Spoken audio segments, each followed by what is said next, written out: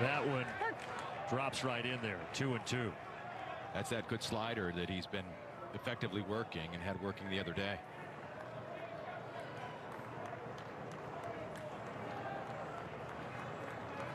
It was 4 nothing. Iowa got a single run in the bottom of the fourth, and now they've got the lead on man here in the fifth. And Danny Jimenez is calling his crew together. Not sure what they could be talking about here.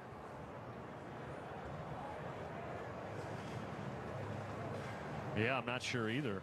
Oh, they're checking for oh boy sticky substance. Now that's getting the Iowa fans riled up a little bit here. So Erik Bakich is now, of course, curious. They're checking for a foreign substance on the glove. Yep. Wow. And they just ejected Willie Weiss. Somebody in Iowa's dugout was watching closely with a Hawkeye and looking out at Willie Weiss. Alerted Danny Jimenez. Crew gets together, takes a look at the glove, and Weiss is ejected. There's a full look.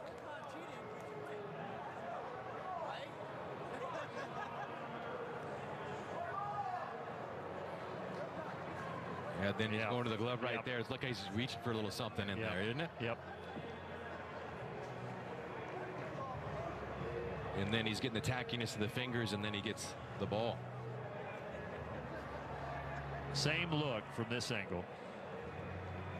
It's like he's trying to be casual about Right it while there, not right looking there. down. Yeah. Right there. And- And then gets the ball and feels the tackiness of the fingers. Well, that's an interesting development.